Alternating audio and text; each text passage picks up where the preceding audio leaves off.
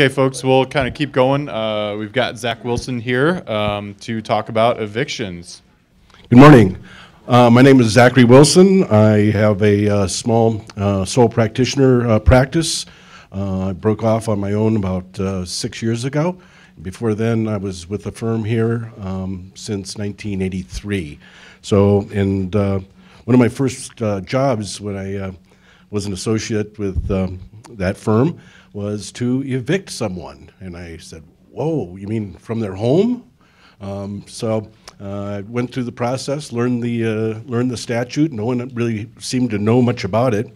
So, and it ended up being one of those bad evictions where it had to go all the way through, you know, a hearing, and then um, uh, they wouldn't leave the property, and we had to go get the sheriff, and then that was bad, and it just was this um, eviction from hell. And then suddenly I, I was kind of the local expert on it because I had to go through the whole thing. So. Um, if you can avoid evictions, uh, please do so. The best way to do it is to get a good tenant that uh, pays their rent on time and keeps the place clean and everything's good. But um, despite your best efforts, sometimes that doesn't work. And uh, then when there's a violation of the uh, of the lease, then and they refuse to fix it, then you have to go through with this process. And it's a very uh, step-by-step process. It uh, is critical that the initial notices that you give are proper because they form the foundation of uh, the eviction. If your initial notice is improper and you go through all the rest of it, it'll come back to that, that weak foundation and your eviction house will fall. So uh, I'm going to go through the eviction procedures. Um, if you have any questions, uh, let me know. And if after this uh, program you still have questions, feel free to call me. Um, I noticed there was this one that felt it was unfair because Kathleen pri- uh, provides free legal services. Well, I, you can get some questions answered over the phone. And if you want to call me and you have a question, I'll do that for free. So um, hopefully uh, I'll teach you enough that uh, that won't be necessary, but feel free if, to do so if you need to. Okay, um, generally the, uh, the problem starts with the failure of the tenant to pay rent. And um, before you can start an eviction, you must give the three-day demand for possession, uh, three-day demand for rent or possession. Um, if after the service of that uh, notice um, is you've, you've given it, and uh, you must accept the full payment if it's tendered within the three-day period. If they tender a partial payment, and you accept a partial payment, then you have negated your demand because you've modified what was supposed to be a demand and you've made it a, a deal. So uh, if you want to accept partial payment and it's substantial, that would be within your you know business judgment to say, well, I'd rather have you know six hundred dollars than than no dollars, and I'll simply serve uh, another demand for the remaining four hundred, and they'll have to pay that remaining four hundred within the three day period. Uh, tendered full payment after the three days has uh, expired, you don't have to accept it. Uh, generally, that would result in you know you proceeding with the eviction and possibly having a vacancy. So, as a business uh, owner, you probably say, "Okay, I'll let you off this time. I'll take your money, let you stay, but pay rent on time in the future because I'm not going to be doing this all the time." Um, so that, that is the demand for renter possession. Re, uh, with a, regard to a notice to quit, this really doesn't come up that often because most people have leases in writing with a set period. But for um, people that you know are more lackadaisical, I guess, and don't have a lease agreement, and it's just kind of a month-to-month tenancy, or um, maybe it's a farm lease and you have a year-to-year sort of tenancy, just a handshake deal. If you want to terminate that tenancy, uh, uh, the termination notice, the number of days of the termination notice depends on the, um, the length of the contract. Now, um, leases for one year or longer must be in writing.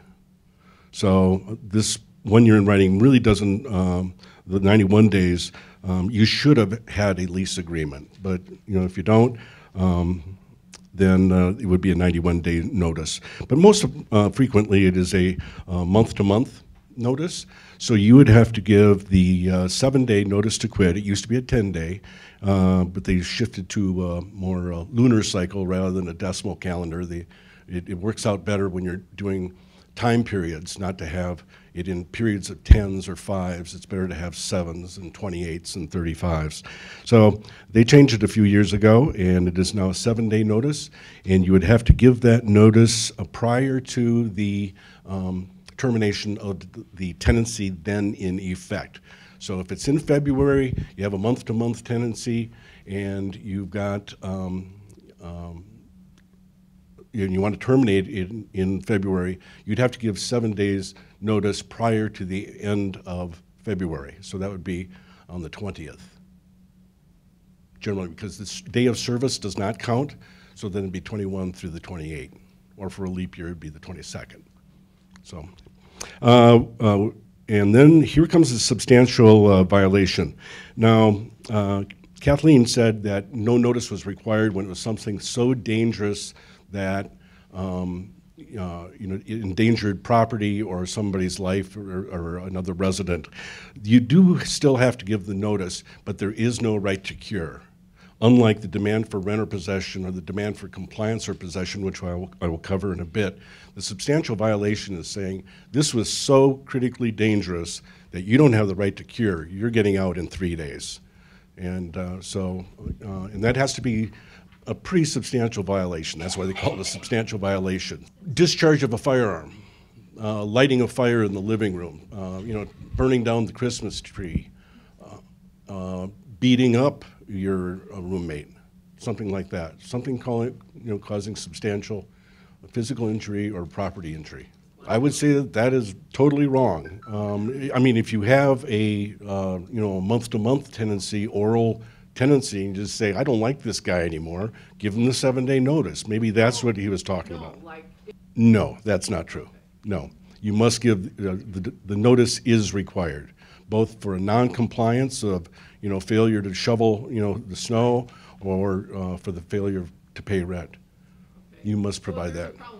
Well, what you can do is just say, I'm not going to renew your lease at the end of the lease term because I'm tired of you. You know, you're a bad tenant. But, you know, if you've contractually agreed that they can stay through June 30th, that's your obligation. Now, if they violate the lease, then they're entitled to the notice. There is no self-help eviction in Colorado. So you can't just put stuff out on the street, or you will be liable for damages. No, uh, then your lease contract would control. This is generally for when you don't have that written lease contract. So if you have a lease contract that goes through June 30th, you can't just give them a seven-day notice to, you know, to quit in May. Yeah. So, yeah, you have to comply with the terms of the, the full term. Well, the party that's in residence has an affirmative defense that they, uh, you know, they are a victim of domestic violence and shouldn't be the victim of also an eviction. Um, but the uh, uh, for the perpetrator, yes, I, I would give him the demand uh, or the substantial violation notice. Oh, you could post it on the premises. So yeah, a method a method of serving a demand is by posting on the premises. So that's the law. Well, uh, that's that's a judgment call because they they increased the burden of of your burden of proof to prove abandonment several years ago. So if you're pretty certain that it's so so emptied that it's just like trash and stuff laying around. But if he's left his important papers and some jewelry and, and you know maybe some nice furniture and stuff, then you probably have to go through with the eviction. And uh, by doing that, you serve the notice on the premises, both the demand, and then when no one's there and you come back with your summons and complaint, and the notice, the demand is still on the door, well, they haven't come by for that long, and then you proceed with through the eviction. It seems silly, but you end up actually do you put the stuff out on the street. But because the city has ordinances with regard to that, you leave it there, the sheriff leaves, and then the police will be on you for the nuisance, so then you pick it up again. But the sheriff won't let you haul it directly to the dumpster or to the dump. The sheriff says, put it out on the street. And then when it's been there for whatever, well, when the sheriff leaves, basically. Well, do you think it sounds legal that, you know, What if you, what if you can't approve the abandonment? What if they say, you know, my mom was stu- suddenly struck ill and I, I had to leave school and I had to go back and I didn't have time to contact you and then I lost your contact information and I was a total wreck and then I came after, you know, three weeks and you've taken all my stuff? That probably wouldn't sound very good in court. Well, just because you buy a form doesn't mean some court here is going to want to enforce it. And that's what I think Kathleen was talking about. She says, why have these onerous provisions that the courts won't enforce? And uh, you do want that holdover provision in your lease, the one where it says, okay, we've had a year lease, yeah, but now that the- term expires, it will go to a month to month. You do want that because under the old uh, Colorado law, it renews for another year. So if they hold over for a day, they say, sorry, you don't have a holdover provision in your lease, so it will roll over for another year. So make sure you have the holdover provision. Relates to liability for uh, radon exposure because of the circumstances in Colorado. Uh, I would say that the fact that you installed the, uh, the mitigation system would help in your case a lot. And uh, you keep that report that you received after that mitigation was done, and if it shows that it was within the proper levels, and then when they make the allegation that, you know, they were exposed to radon, then have the system tested again. If it's still in compliance, then you're pretty much clear. If you're out of compliance and radon is too high, well, then maybe you do have a liability exposure. Yeah, and then keep all those reports, and then you could show that the system was still working. All right, uh, demand for compliance or possession, uh, this is for the wild parties or the failure to uh, uh, shovel the, uh, the walks. Um, Again, it's a three-day notice. Um, They, after they initially um, put this law into effect, they did uh, realize that there was a problem, that if you gave, if there's a wild party on a Friday night and you gave the three-day notice to comply, and then they all settle down for the, the week, then they have a wild party the next week, and you gave a three-day notice to comply, and then they were real good for Sunday through Wednesday, and then they partied again, it was a problem. So if they had the same repeat occurrence within a year, then it's just, you're out of here. Okay, you do not have to give repeated demands for compliance or possession. And then the demand for possession, if someone is just in your house and you've allowed them to move in and they're just staying, and uh, you say, I can't get rid of this person, that would be a simple demand for possession. Just, you're out in three days. You don't have a lease, I never agreed to anything, we don't have any terms. Uh, You're just here, you're squatting in my property, get out. But they are still entitled to the three-day notice. Well, uh, uh, the lease uh, terminates on its own terms, so if, yeah, if they didn't move out on June 30th and you say, hey, I got a problem here, then you could give a demand for possession, saying, I don't want you to pay rent. Yeah, I mean, if you say, you've got to give notice to me if, if you want to stay, otherwise, um, your holdover tenancy is going to be month to month, you would uh, say, okay, yeah, I I let this slide by, so they stayed now July 1, okay, I'm gonna, you know, I'm gonna, it's gonna take you, three weeks to evict them anyway. So then you, you give the, you know, the three-day to them and then start the eviction. No, you've got to follow the procedure regarding texting or otherwise delivery of the notice. The notice must be delivered in person to a person uh, of, the, well, first of all, the, the tenant or a member of the tenant's family over the age of 15 or by posting on the premises. Yeah, you can develop a course of dealing where you, you handle your correspondence via texts. That's okay, it's just not, It just doesn't work for the notices. No, certified mail doesn't do any good for you. And for the, or you may be talking about uh, sending letters regarding the security deposit retention letter. The statute provides for regular mail. It's just by mail. And re- registered and certified mail are more restrictive than general mail. They can be refused. So always send the security deposit retention letter by regular mail. If you want some proof that it was delivered or more proof, you can send it by certified, but that's not within the compliance of the statute. So always by regular mail. But with regard to notices, mail has no impact. The security deposit uh, statute requires that you um, send a retention letter showing the reasons why you retained any portion of the security deposit within 30 days, or if your lease has it, up to 60 days. So um, when you've determined what your, the amount that you're going to withhold, then you would send that retention letter and, and refunding anything that you're not withholding within the 30 days to, by regular mail, not by certified mail. Okay? So the actual check goes in the registered, or actual check goes in the regular mail, but if you want to send another copy and a copy of the check, uh, you can send that by certified, so you have a, a green slip if you want it. So the, the, the real, the real check and the real retention letter goes by regular mail. All right? All right, uh, requirements for the services of the notices, it's uh, by delivering a copy to the tenant, by leaving a copy with the uh, member of the family over the age of 15, uh, and if no one is there, uh, then by posting. And I put it in uh, highlights there that you must make an effort to personally serve the notice. Um, So you can't just sneak up in the middle of the night and post it on the door, you know, and scurry away. You've actually got to pound on the door. So, um, then the computation of time, this uh, changed recently, um, but in serving a three-day notice, the day of service does not count, and then uh, thereafter, every day does count. Uh, and I've given some uh, examples. So if you serve it on a Friday, Friday doesn't count, Saturday, Sunday, Monday. If Monday is a holiday, it goes over to Tuesday.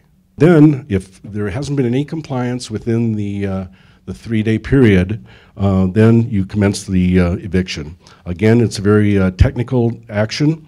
It may be brought in the district, I'm on the top of the third page now, on the top, yeah, in the district court or the county court. Uh, And uh, you probably don't want to wait until you have accrued damages of over $15,000, which pushes you into the district court start the eviction sooner. Don't let the, the monies build up over time. So uh, you'll mostly be in the county court. The county court is better at handling evictions because they do it a lot more than the district court does. So the district, the county court clerks know evictions and, and the process. So uh, the necessary allegations of the complaint, you must describe your, the property and that you are the owner of the property, the grounds for recovery, failure to comply, or failure to pay rent, uh, the name of uh, the person that's in possession of the property, all the names, if you know the names, if you have a uh, lease with one tenant, but you know the name of the person that lives with that tenant, then name her then too. And then I usually put in, and all other unknown occupants of the premises, because you don't know who the guy in the basement is. But you want to make sure that you pick up everybody that you want evicted from that property. So tenant one, tenant two, and all other unknown persons, all of their occupants. Okay? Um, uh, the complaint may also say, and I, and I'm owed money. I want, I want not only to recover possession of the property, but I want money that is owed to me. So the court will generally divide that case into two, two separate pieces. Like today, I just had a uh, hearing on possession only. That's all the court set it in for, is set in for not more than an hour.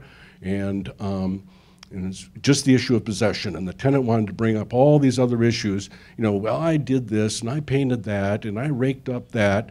And that wasn't an issue at all. It was all relating to the payment of rent. So the courts will limit that and just stick to the, sim- the simple issue of do you have a lease agreement? Was rent required to be paid? Was it paid? Was a demand given? And was the rent then paid within three days? That's, those are the five things I have to show. All of their occupants? Yes. And you, you don't name children as parties to the action. So it'd be the two parents and all of their occupants. Um, okay, uh, so um, I've gone over the two-pronged action, and then the summons. It is a, a special summons form. It, de- uh, depend, it de- demands that the tenant appear in court not less than seven or more than 14 days from the date of uh, uh, from the uh, date of issuance.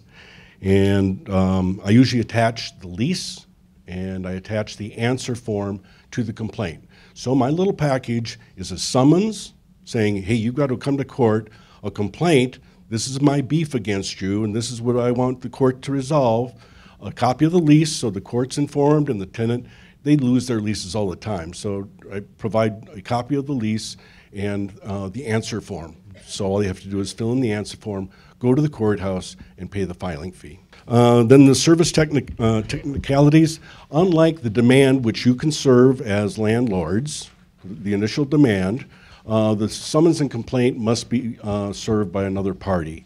And if you want to use the- the sheriff, the sheriff uh, knows what to do there, or if you know a private process server, or if you um, are confident that you have a responsible enough friend that would be willing to um, you know, follow the technicalities and appear in court if need be, then you can have that disinterested third party serve the, uh, the complaint. And I've set forth the requirements there. So if you do want your friend, you want to review that paragraph and say, here's what you need to do. And at the, okay, at the appearance date, uh, which is usually uh, early in the morning um, on pretty much any day of the week, um, uh, you can appear in court, and if the tenant shows up, you can always try to work out a deal. They have little stipulation forms saying, okay, you showed up, you showed responsibility here, I will, we can work this out, you can make payment plans, and you can stay in the property. Or you can work out any other stipulation, you get it signed right there, and, um, and then um, the court will accept that, and the court will approve whatever deal you worked out. Um, if that didn't, if they came back with this nasty answer and said, you know, my landlady's a real meanie and, uh, you know, I'm, I'm going through some difficulties, that's not really a legal defense. The court may consider it, but if they say, um, I paid that and I put it in an envelope and stuck it in her door, well, then that, there's an issue of whether rent was received. The court will say that's not a reasonable way to deliver the rent, but uh, the court will then set that for a hearing. If the tenant does not show up, then you request the court to enter a default. And then uh, a default judgment for possession only will enter, and the writ of restitution will issue 48, 48 hours thereafter. Okay, you know, summary of the uh, question was, what if you're living in a property where the landlord does not provide adequate maintenance or allows a a hazardous uh, condition to continue, and when uh, a tenant makes a complaint, they're basically bullied and harassed and, and, and uh, threatened. Um, I- would probably use the uh, warranty of habitability statute on that. Um, You know, if you have some uh, physical inability or you live on the 18th floor and the elevator doesn't work, you know, I think that would be grounds. If it's a two-story building and you're a, you know, uh, good health and, and good physical condition, you probably, probably wouldn't get away with that. Um, But, you know, if you're dependent on an elevator and the elevator isn't working, working, that property isn't habitable for you. Um, As for the asbestos, uh, that is definitely uh, a warranty of habitability issue. So then, I've I've discussed later, it's not, really doesn't go into uh, uh, evictions, but just as a courtesy, I provided some information about the warranty of habitability, and it provides for uh, notice and notice to the landlord, and if they fail to take corrective action within the five days, then you move out and, and they are required to return your security deposit. So that's a pretty strong statute, uh, and uh, it took a long time to pass in Colorado, and there's, there's a lot of resistance to it, but just the trend across the country was to provide for, you know, safe habitation. Right, well, then uh, she's saying, you know, I've tried going to state agencies, I've tried going to local agencies, they don't do anything for me, and it just results in more harassment. I would say, yeah, the onus is on, on you to probably, you know, uh, find yourself a landing spot, you know, secure alternate uh, uh, um, uh, housing, and then pull the five, five-day trigger notice saying, I'm, I'm out of here. Because if they are doing it like that for you for so long, highly unlikely that they're going to tackle the asbestos in the elevator with, after that five-day notice. So just make sure you have a place to go. The, it, it's the habitability statute in Colorado. And it- it's the implied warranty of habitability that even if it's, not in your lease agreement, it's implied in every lease contract. That if you're provi- providing livable space, you must also provide uh, a habitable space.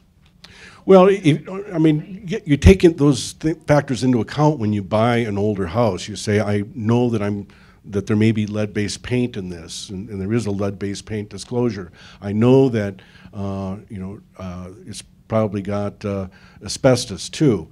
asbestos is all right as long as it's not disturbed. But if you're starting to rip out walls and stuff, then, yeah, then you- you will disturb it and you will have to do a full remediation. Otherwise, the premises will be deemed uninhabitable. All right, uh, well, uh, if the tenant does show up at the appearance date and files an answer and says, I don't owe this because I put the money in, uh, in an envelope uh, in her door, then uh, the court will set it for a hearing on possession. Again, that's going to be a very limited hearing. I've given you the, uh, the five prima facie points that you have to show, and you just make your claim saying, tenant owes me $1,000. It was due on the first. I didn't get it. I waited through the grace period. He didn't pay then, so now he owes me the late fee. So I gave him a demand for $1,050, and he failed to pay within the three days. Boom, he's forfeited the lease. So, um, fairly, uh, fairly easy to do. Um, attorney's fees uh, can be granted if you have an attorney's fees provision in your lease. So all of your leases should have an attorney's fees provision that in the event of the tenant's default and you have to proceed to court, that you can recover your attorney's fees and court costs. Any questions there? Uh, And it's best to have an attorney's fees provision that doesn't say, uh, the tenant will pay this and the tenant will pay that. Say the prevailing party. And and that uh, is a- balanced uh, attorney's fees um, provision, because many courts will not, will not uh, enforce a one-sided onerous uh, attorney's fees provision. If it's balanced, then the court will enforce it. So it goes to the prevailing party. And sometimes the court does not uh, award something. Maybe you've brought an action for non-payment of rent and action for non-compliance. Uh, You, you do prove your case for the non-payment of rent and and evict the, the person, but you don't prove the non-compliance. The court will sometimes just say, well, you didn't prove this, and the tenant won on that uh, issue, but you won on the rent issue, I'm going to find no prevailing party and not award attorney's fees. Yes, well, that, that's not a provision in the lease, that's a provision in the Colorado Security Deposit Statute. So if you have wrongfully withheld a portion of the deposit, and they hire an attorney, and they bring in legal action against you saying they, you know, all these were no- normal wear and tear charges, and, you know, uh, she wrongfully withheld my money, and it's your burden of proof when you go in on those hearings no court, uh, you know, I, I would, had a good reason to withhold this money. So with your burden of proof, and if you don't satisfy that burden, and that attorney's sitting in, in the tenant's, uh, at the tenant's counsel table, then, yeah, you can be, uh, nicked for attorney's fees and court costs too. Well, well, the penalty, it- th- th- this is an issue with regard to uh, wrongful withholding and the protections maybe now that are being put in place for tenants. Uh, The Colorado Security Deposit Act is uh, a protection for tenants. It provides that, uh, first of all, the money is always their money. You are just holding their money, and it pres- is presumed to be their money. And uh, then you also have the burden of proof at the, at the trial. And then if you fail in your burden of proof, you are penalized three times the amount that you wrongfully withheld. So that's the penalty. A great check-in sheet and a great checkout sheet is a great um, piece, uh, two pieces of evidence for the trial court. If, if it's not on the check-in sheet and it's on the checkout sheet, then the tenant's going to be presumed to have done those damages. If it shows up on the check-in sheet and you're suing for repairing it, then that's bad evidence against you. So um, it's, a, it's a good way to prevent lawsuits or to uh, promote resolution uh, with the two good check sheets. Uh, If you go through the rest of this and uh, have any questions, feel free to give me a call. All my information's on the front. Thank you.